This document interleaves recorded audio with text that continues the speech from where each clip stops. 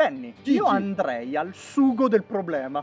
Io allora andrei allo sciugo del problema. Raccontaci di Shugo. Questo giocatore, tale Shugo Imahira, spero di averlo pronunciato bene, Perfetto, secondo me. vado di sicuro, eh, a questo giocatore è capitato un fatto abbastanza inusuale, nel senso che in un torneo del VGC, quindi World Golf Championship, una delle gare quindi più prestigiose del mondo, al terzo giro ha visto male gli orari di partenza e si è presentato sullo score con quasi un'ora Si è di presentato sullo score, tra l'altro.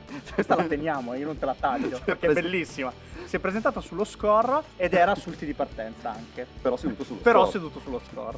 Però con quasi un'ora di ritardo. Ah beh, comodo. Quindi quando ha tirato fuori lo score da sotto il sedere ha visto che l'orario era sbagliato. E lui era stato un'ora seduto sullo score. Eh, c'aveva il fuso orario in albergo. A posto.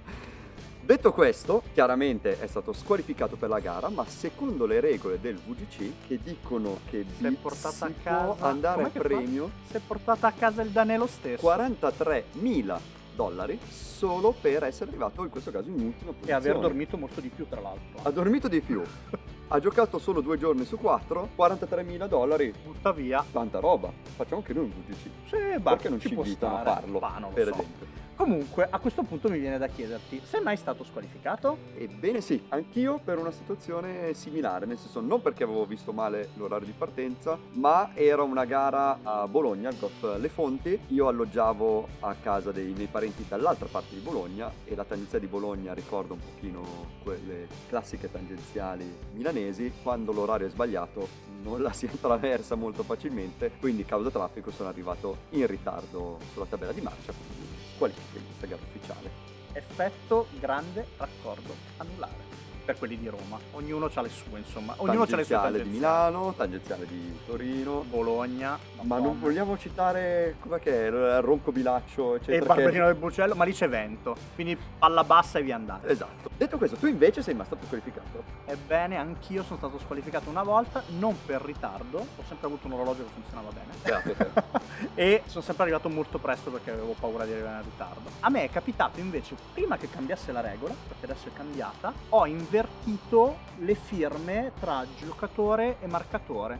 No. Eh, ai tempi c'era ancora la regola per cui dovevi marcare dove c'era la scritta riportata giocatore. Il mio marcatore sbagliando aveva marcato, io ero piccolino, eh, avevo 14 anni, avevo fatto un bel giro tra l'altro, mi, mi ero abbassato, mi ricordo questa cosa, perché poi piangevo perché io volevo entrare a fare le gare fighe, per me era importante abbassarmi e quindi piangevo perché dicevo ma no io potevo abbassarmi, non mi frega niente della coppa, io però voglio abbassarmi. Comunque avevo fatto un bel giro, lui aveva firmato sul giocatore e quindi io stupidamente senza guardare ho visto dove c'era il buco e ho marcato sul marcatore. Quindi è considerato uno score bello, con due firme, tutte le buche al posto giusto, squalifica. E infatti poi Per fortuna questa regola è cambiata. ha deciso di cambiare questa cosa. Alla fine in quel momento c'era, e è E stato un errore mio.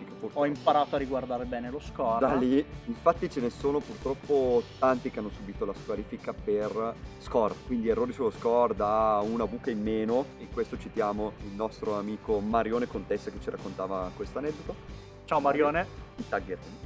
Piuttosto che due buche invertite, anche quello se una buca risulta Sì, con il risultato è lo stesso, ma hai sbagliato a scrivere la buca. quindi in almeno una buca è il risultato inferiore e quindi molti sono cascati in questo terreno soprattutto quando si ha poca esperienza sulla gestione Certo. degli score le prime gare quando arriva la 18 penso che sia finita invece la gara finisce quando ho consegnato lo score da lì non posso più influenzare anzi la gara finisce al bar Sì, davanti a una birra. perché se sbaglio lì potrei essere Effettivamente. Comunque, raccontateci sotto nei commenti se siete mai stati squalificati o se pensate che ci sono delle regole che probabilmente potrebbero essere cambiate, addolcite, visto che tra l'altro sembra che ci siano in revisione molte regole per rendere questo gioco un pochino più veloce. un po' più friendly, Friendly. user friendly User friendly. E ci, Ci sta. sta.